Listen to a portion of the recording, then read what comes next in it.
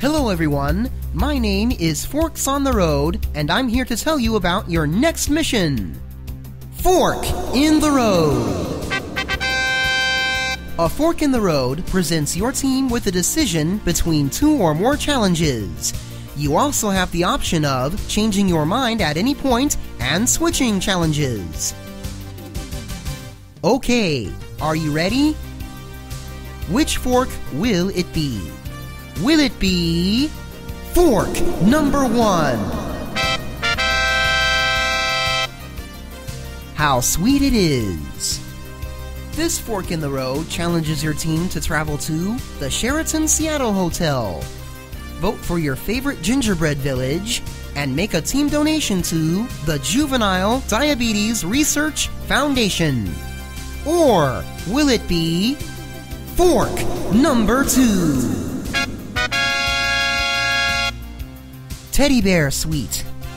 This fork in the road challenges your team to travel to the Olympic Fairmont Hotel and find the Teddy Bear Suite. Snuggle with the bears, complete the photo challenge, and make a team donation to the suite. All of your proceeds will go towards the Seattle Children's Hospital. Or will it be fork number three? Holiday Suite. This fork in the road challenges your team to travel to the Holiday Carousel, located at Westlake Park. Ride the carousel and make a team donation of $2 per person that will benefit Treehouse, a local nonprofit dedicated to giving foster kids a childhood and a future. Those are your choices. What will it be? Number one, two, or three? Once you make your decision, go to your Westlake Passage Operation Manual and find the fork in the road your team selected for further instructions.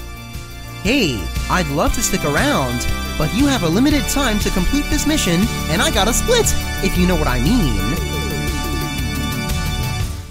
Good luck, and may the road rise up to meet you with tasty treats.